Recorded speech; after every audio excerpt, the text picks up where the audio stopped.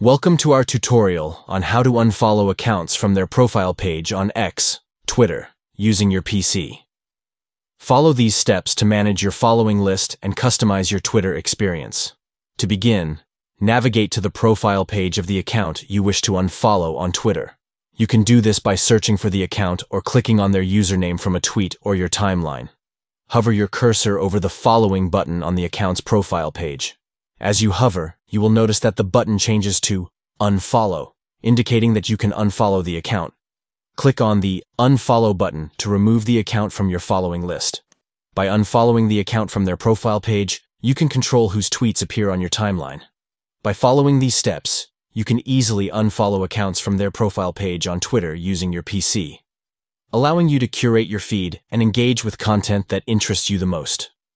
Thank you for watching our guide. Enjoy managing your following list and customizing your Twitter experience by unfollowing accounts directly from their profile pages. Happy tweeting!